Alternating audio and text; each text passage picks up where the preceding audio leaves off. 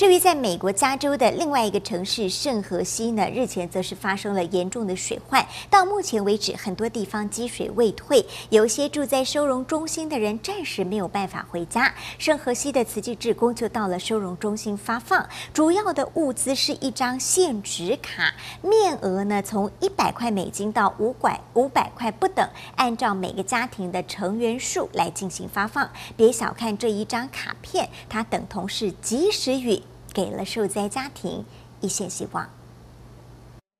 二月中旬，圣河西遭逢百年来最严重的水患，大水退去，重建家园正要起步。在社区援助中心，慈义志工也亲手奉上最实质的帮助。I, I think what you guys do for the community, how you guys step up and advocate for not just one race, but for, for a race in general, is very, very nice. Just jump right in, you know what I'm saying, and lead your support, lead your hand with no reservation. It's a big thing. Okay, I wish you good luck. Thank you very much. Wow, wow. Bây giờ cũng chưa biết uh, những gì mà có thể là chắc phải để dành tiền ít tiền đó để uh, mua chiếc xe kiếm một chiếc xe cũ khác để uh, cho vợ để chở uh, con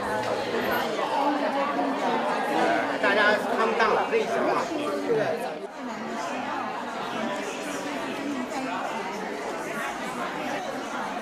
很高兴，很就是很高兴，还要谢谢，还要谢谢谢谢，就是被灾被难的时候有这个这笔钱，也就帮帮助。